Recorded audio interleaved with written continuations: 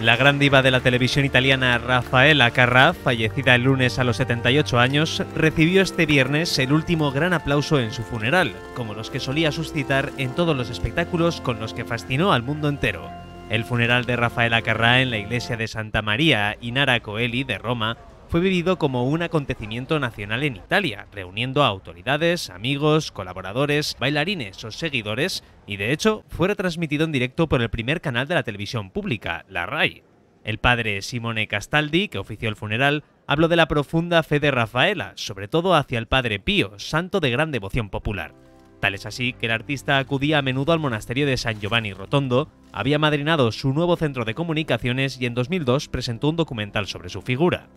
Así, el cadáver del artista será incinerado y después llevado al monasterio, una etapa previa al traslado de la urna al lugar en el que se quedará para siempre, su villa del Argentario, un monte en una península frente a las costas toscanas.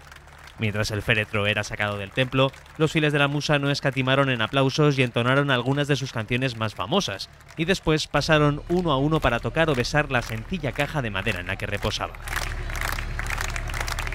Eh, Rafaela, un ejemplo, un ejemplo de la revolución de la mujer, o no revolución, sino que ella pues fue la primera que se colocó las blusas cortas, eh, dejó de su ombligo, en esa época pues era un poquito un tabú.